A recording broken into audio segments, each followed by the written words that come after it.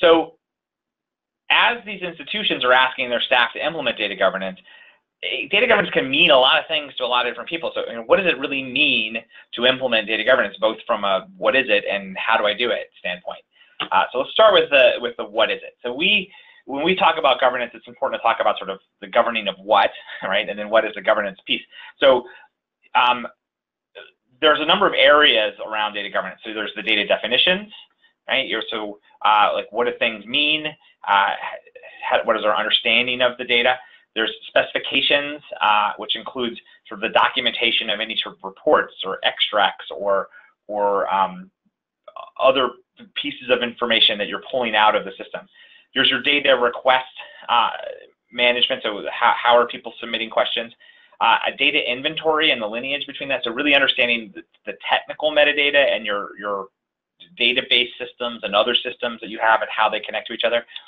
Data quality, so um, the the rules around around your your data uh, and your the, the, quality of it.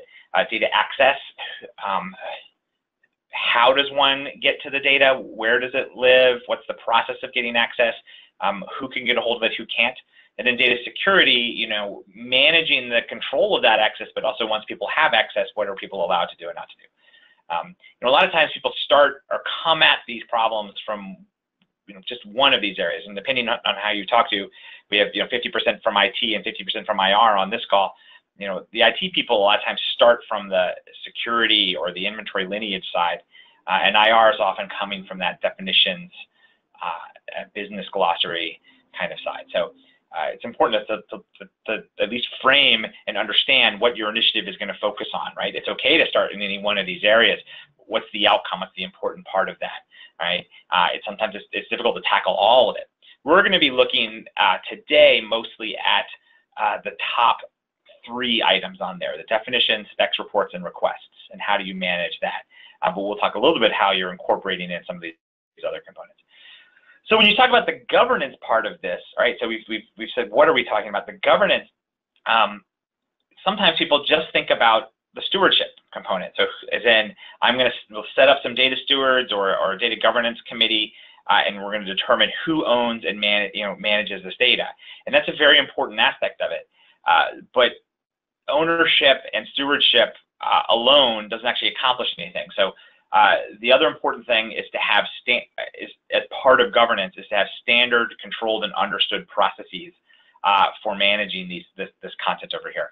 Uh, so much of what today's presentation will be will be on those processes. So understanding the process of stewarding this this, this content and, and what is the best practice way to do that. Um, uh, additionally, what's important of a governance is to have some sort of agreed upon and complete information. So of this content that you put in there, how do you get agreement and, uh, and completeness to that detail?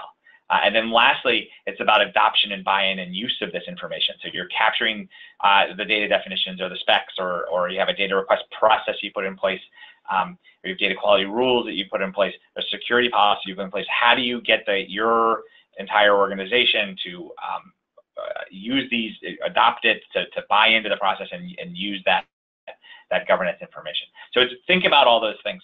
Uh, and the way that we break this down, when we do sort of a governance implementation or, or we talk about the training, um, or, or I break down what we're doing in these best practices, is to think about you've got the content, stewardship, processes, completeness, and adoption. So you take those sort of five areas of focus around around governance.